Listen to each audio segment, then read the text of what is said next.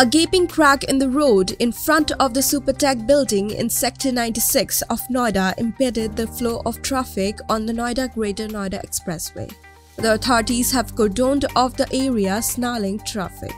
Authorities have been fixing the expressway for a significant amount of time, resulting in frequent traffic congestion.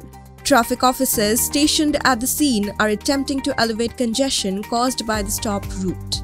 The Noida Greater Noida Expressway is a six-lane expressway connecting Noida and Greater Noida in Uttar Pradesh. It cost roughly rupees 4000 billion to build. Indian Journo is now available on your App Store. Download the app now and get all the impactful news on the go.